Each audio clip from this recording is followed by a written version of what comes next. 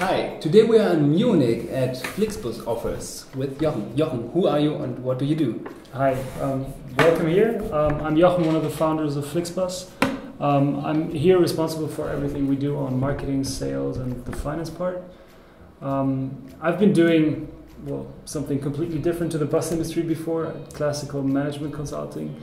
Did start a PhD thesis, which I had to sort of break up um, to start the bus business since um, the market was um, deregulated just last year, and this was just the opportunity for us to start the business. When did you have this uh, idea of starting such a uh, bus mm. uh, business? We initially thought about it quite some time ago. So it started 2009, where the, the last government actually had it written down in their coalition contract. So they said, we're going to regulate, deregulate the market. And we were like, oh, that sounds interesting. How often does that happen, actually, that markets still get deregulated? And then we thought about it in the first place, saying, oh, there's probably going to be Deutsche Bahn coming and they're going to just fill up the market and there's no chance to actually develop a new business. And then, well, maybe a year or one and a half later, Deutsche Bahn said, oh, the market is not going to be attractive, it's not profitable, we're not going to do it. And we were like, oh, maybe it's still interesting. And we, we got back to the idea and started discussing business models again. And in the end, turns out it's the combination of classical online marketing e-commerce business, so we're selling tickets online, and something that is very real. So buses is pretty real, as real as, as it can get. And um, a bus industry and, and company owners that we work with that are very well, weird in a way, but cool to work with. And that combination is, is unique for us. And then again, in a market that just recently got deregulated, was that once in a lifetime opportunity we just had to take. You, you started this company while you were studying for PhD. Yeah. What was the final trigger point that made you switch from being a student mm -hmm. to uh, becoming an entrepreneur? We actually, that phase took quite some time to go from having a, a well, well-paid job, the PhD part, finalizing the thesis, to saying, okay, I have to leave all this behind and be an entrepreneur. But in the end, we were like, okay, this is that once in a lifetime chance. And if we're not going to do it, we're probably going to be pretty sad if we don't do it. And we're always going to always going to have um, the idea or, or the um, we, we, we think we missed out on something, so we just had to do it at some point. Okay. Let's talk about the business model of Flixbus. Mm. So, can you tell us briefly how it works? Mm. Basically, it's pretty comparable to what franchises do. So, the McDonald's is out there. Um, we do everything that goes with the product. So, we give, we do the scheduling, the network planning, we do the bus branding, we do all the marketing, communications, we do everything that goes with sales, IT, ticketing, etc. And we do all the service towards the customer. So once a customer calls in, he's going to reach colleagues of us. Um, once he writes an email, he reaches us. And we do the operations, so the bus driving part, pretty much together with um, local partners. So mm-hmm. it's medium sized private companies throughout Germany. We work with over 50 companies um, across the country. And um, they do the operations for us. So they will bring in the assets, they bring in the drivers, they brand the buses for us, and they sort of deliver the product in the way we want them to deliver it. And um, on top of that, we have sort of like a revenue share model. So once a line goes very well, they're going to be very profitable. Once it's not going so well, we're going to share the risk of utilization with them. And that sort of leaves us with a great incentive to do good marketing, to do good sales, to have our effort focused on that part, mm-hmm. and leaves them with an incentive to deliver good quality. Clean buses, friendly drivers, good quality service, and that's sort of like the business model. When you started with this business model, did you focus on specific routes? Um, mm. I don't know, like uh, Munich to, to Berlin or mm. something like this? Mm. Well, our approach was we have to provide a nationwide network. So, in whatever bigger city you're looking for a connection to another city, you'll have to find some offer on our website. So, that was the initial idea. And and then at the beginning, we thought, okay, we can start with the whole network all at once, but obviously that usually doesn't work. So we had to be a little pragmatic at the beginning. We, we, focused on the bigger routes, so we've been connecting bigger cities, so the Munich, Hamburg, Berlin, Frankfurt, Cologne, etc. And um, then sort of developed the network over time. And we started with only 10 buses. Meanwhile, we're running over 150 buses throughout uh, Germany every day, also connecting cities in other countries across the borders. And um, yeah, as I said, you've got to be pragmatic at some point. So we just had to start and get get going. And in the end, turns out there's no chance you can start with the whole network at once, but you have to sort of develop the processes over time and sort of get into what the business model in all detail looks like. How did you acquire the, the first operator, the first bus operator? Mm.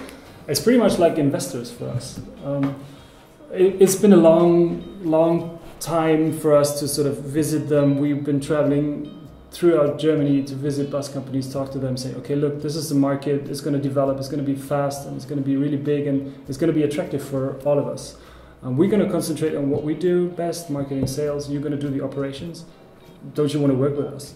And it's usually been really like an investor pitch. You got to imagine it's usually family-owned businesses. The father has sort of built up the country, uh, the, the company 50, 60 years ago. Son took it over, and now he's like in, in the position to, okay, I want to do something with the company. There's, well, rather no growth in their core businesses. So they're doing travel, they're doing um, local public transportation, and there's no growth in that. So they also had the chance to have a growth business developing. And, um, and then it's really an investor pitch. You've got to persuade them to invest hundreds of thousands of euros, in parts millions of euros, in the buses and the drivers and the operational cost. And um, that takes a lot of discussion, a lot of arguments, a lot of persuasion to actually bring them to that point.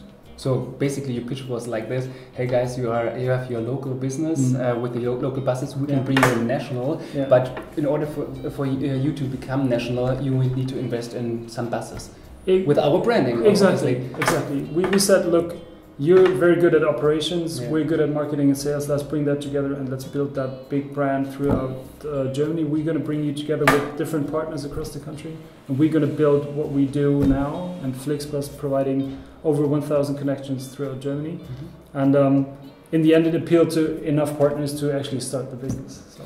And uh, how much traction did you need in order to, uh, let's say, fill up the buses sufficiently? Mm.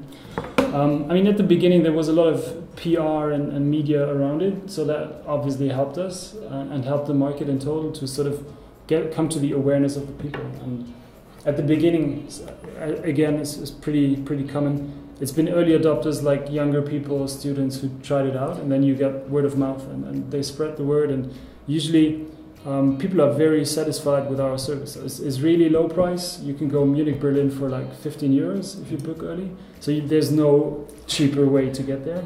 Um, and then people are usually surprised how comfortable the buses are today. Um, I mean, if you think about buses, you usually have in mind, okay, there's my granny going to somewhere over the weekend, and it's like old-fashioned. But we also changed the image of going by bus. It's, it's free Wi-Fi on board. It's really comfortable. Usually, the driver is quite friendly and it's quite nice service.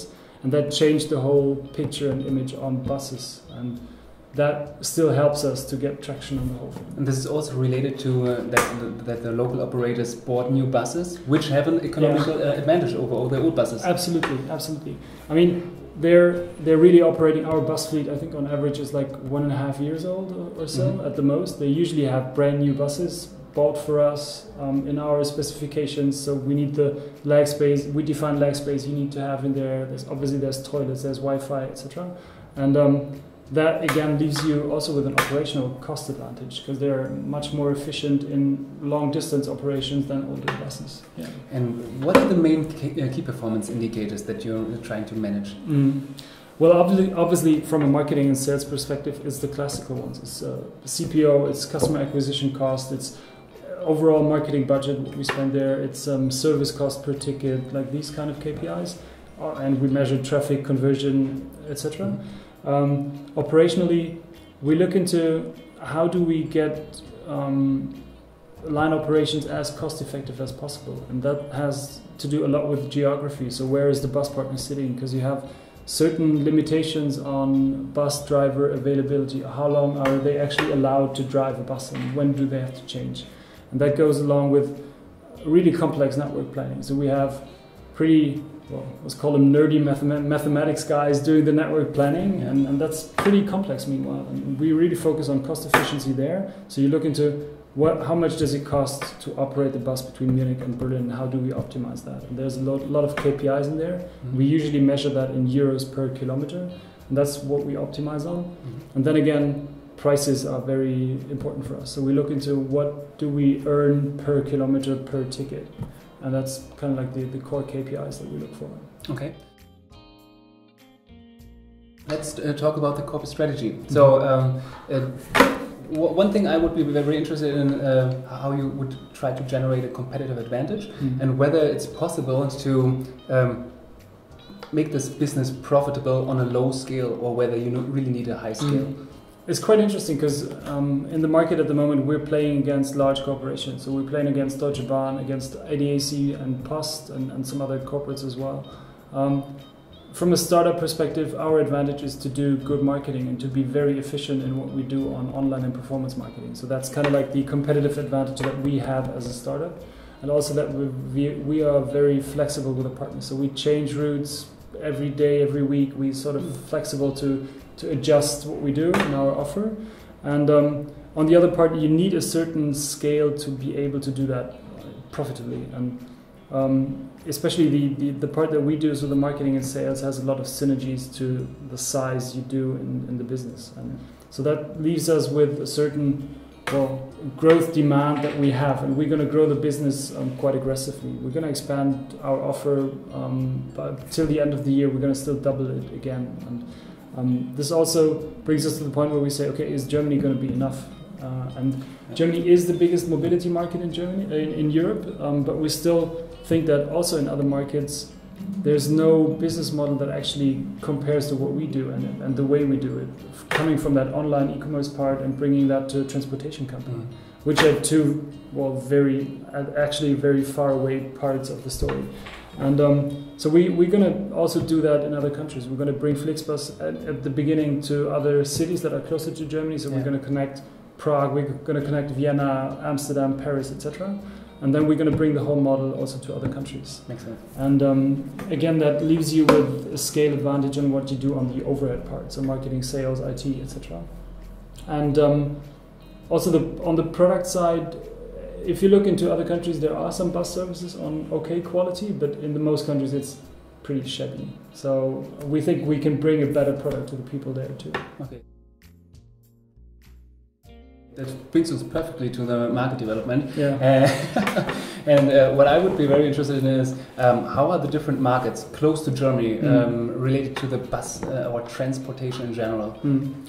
I mean, uh, Germany has been a, a train market ever since, um, and since the law protected Deutsche Bahn from competition, it's just been that way.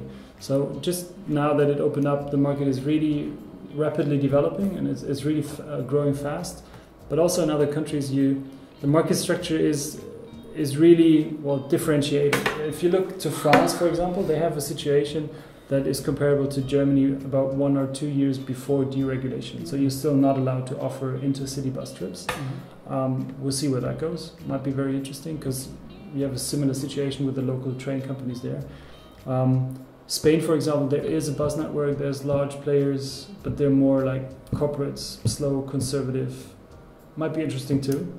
Um, if you look into Italy, it's very fragmented. You have a lot of small players that um, provide individual lines. There's no well overall branding marketing. Um, a different market situation, but also interesting.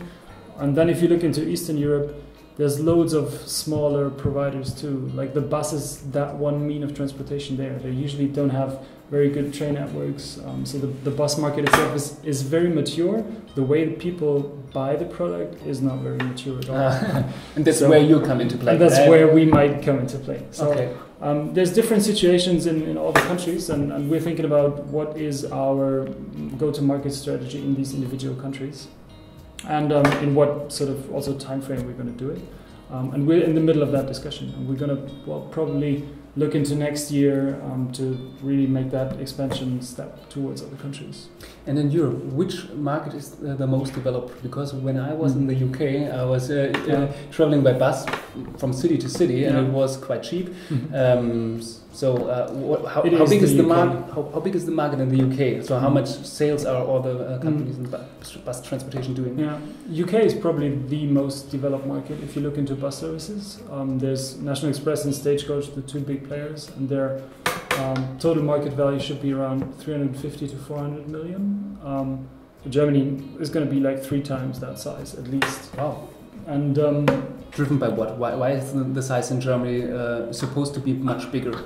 Because the structure is different. If you look into um, other countries, um, France is very Paris-centric. UK is pretty London-centric.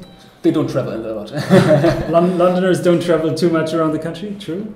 And um, in Germany, it's different. You have a lot of centers. There's Munich, there's Berlin, there's there's Hamburg, um, Frankfurt, Cologne, and there's all this area in, in um, the Ruhrpott, what we call it. Yeah. So there's there's big cities, big centers, and people are traveling a lot more. So if you look into overall traffic volume and compare that to other countries, you can easily project how big the market is going to be. If you just take the share of the bus in other countries, project that to Germany, you'd easily come to a market volume over a billion euros. Wow. So next thing I would be very interested in is uh, what would be your forecast for the market development mm. in countries like Italy or Germany in mm. terms of uh, fragmentation? Mm. So whether there might be some consolidation case, etc. Mm. And the, se the, second thing would what would be your forecast for uh, countries like France, where they are currently regulated, mm. whether they will deregulate somewhere as well? Mm. I mean, it's the, in, in, if I look at Germany, there is going to be a consolidation phase. Um, there won't be 10, 15 players um, around because it just doesn't make sense. As I said, you need a certain level of scale to actually be able to provide a good service. And um, so there's, we, we're going to be seeing consolidation here. Uh, timing wise, it's really difficult to say when it's going to happen. And we're sure we're going to play a very active part in that.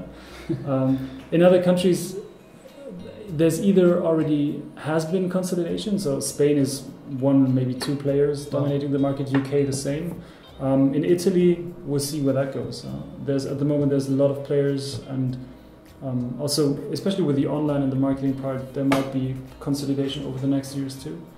And then we see where, where this is going. And um, yeah, for, for us, we think that in our business model, we, we are one of the driving forces also for market development. So the demand is just there, and the, the demand is, is growing. People will always look for cheap mobility. Um, and it's just a question of, of how you approach that. And for the regulation in hmm. France, mm. what would be a forecast? Difficult to say. There's, it's always difficult to look into politicians too deep, and, and we just we're we're looking at the market. We're we're closely following what's happening, and there might be a comparable development to what's happened in Germany. And, and it's not given that large transport companies are going to take the market, and it's the same in Germany. People were surprised, and Deutsche Bahn still is very surprised how fast the market developed. And why shouldn't that happen in the same way in, in France? I totally understand why Deutsche Bahn is not moving very ag uh, mm. aggressively into this market because they don't want to cannibalize their core business. That's what they still say, but that's that was the same speech that um, airlines gave 15 years ago. Why should we go into low-cost airlines? And, and now Lufthansa is working with uh, Germanwings together, and you see that in, in other countries too. And Ryanair is the most profitable airline in the world. So they're underestimating the market still, and we'll see how that develops over time. Jochen, we always try to give our readers some kind of advice um, mm. on how they become better entrepreneurs. Mm. And uh, I would be interested in your advice to first time entrepreneurs. Mm. If I look into what we learned over time, and there's, there's maybe, there's probably two things that are most important. One is we've had a lot of senior advisors, we had business angels in the beginning, and, and we usually thought, okay, they, they're going to give you some advice, and we, we thought, okay, we know it better anyways. Why? Well, nice to have his his opinion, but we know it better. And in the end, it turns out they were always right. so, if my advice would be to really sort of listen to what they're saying. If you have senior guys that you trust, and we do trust them because they're one of our first business angels, we're really cool guy, we really trust him. We should have will listen in the first place and not make the same mistakes over and over again. So if you have senior advice, just listen to these guys and, and follow. I have very uh, one very good point because this is one topic when people ask me about this. I will always tell them you have two conditions that you need to test. First condition is is the other guy uh, being able to know it better than you, and second thing is is he uh, does he want uh, the best for you and wants to help you? And if both conditions and only if both conditions are positive, then listen and follow this advice, please. Absolutely true. I mean, there, there are some mistakes you just have to make yourself to get the learning out of it, and we're doing it every day. We're, we're really we're living trial and error. We're trying, especially also on the marketing side, we're trying out new things, measure if it works. If it doesn't, we just throw it away. If it works, we just continue doing it and scale it up. So just trial and error is very important. But in the end, as you're saying, you there's no point in not listening to senior guys if they're um, if you trust them and if they're in your favor. So why, do, why, you, why shouldn't you do that? And the other part is, um, as, I, as I said in the beginning, um, at some point you just have to be pragmatic and just go and do it. There's always going to be difficulties, and you never know if it's going to work out or not. But at, at some point you just have to go and do it. And um, we just we came to hate that guy called Murphy. If you know Murphy's Law, and we do we do a transportation company. That's what we didn't we didn't estimate in that dimension at the beginning, and and we really we like when we do processes today, we were like, okay, if this comes and that and that, this is not very likely that this happens and that, and then the process should be like that, and we're like, it's going to be exactly like that. The most unlikely event is still going to happen with us because just the pure number of passengers we're transporting, everything is going to happen, and so we have to adjust our processes to that point, but still you got to be pragmatic at some point. You just got to start and just go and do it, and then improve over time. And that's pretty much our well, one of the most important learn, learnings we took. And uh, I think one other learning would be also very interesting because you convinced local operators to mm. basically invest in your business. Yeah. Not really on, on your balance sheet, but uh, at, at least uh, they put some money on the, mm. on the floor. And uh, I would, uh, um, what, what, advice can you give founders for pitching or acquiring this kind of partners? Mm. It's, it's, very, it's very difficult. You just you need a certain I think seniority level. You need to talk to them on, on eye level. That's very important I think, and and you need to to be fair with them. If they feel you're gonna you're gonna drag them over the table or try to sort of cheat on them or something, they're not gonna work with you. So you need to develop a really fair model that gives um, risk and chance to both parties in a fair and balanced way, and that's that's really key. And, and we, I mean, obviously there's some sort of information asymmetry between us and the operators. We have much more transparency on how the business goes, how the numbers are, etc. But in the end, you still got to find a fair and balanced way to work with them, and that's that's really key. If the other party has has an impression, and it's usually it's on a personal basis. They got to have the impression, okay, these guys treat me well and, and treat me in a fair way. Yeah. Then there's a high chance they're going to work with you. Jochen, thank you very much. Most welcome.